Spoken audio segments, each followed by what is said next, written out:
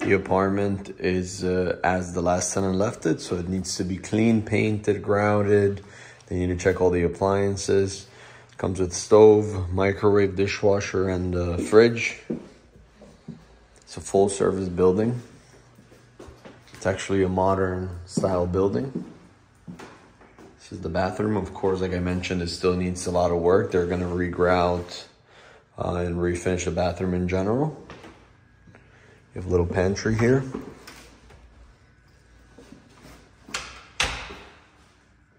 This is the living area in which you can easily separate two spaces like the uh, bed in this side and then some sort of desk on this side.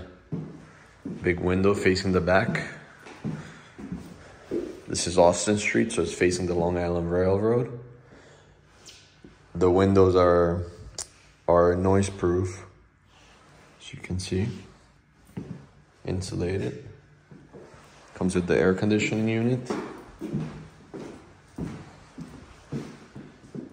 They were gonna refinish the floors as well, but it's a nice condition apartment.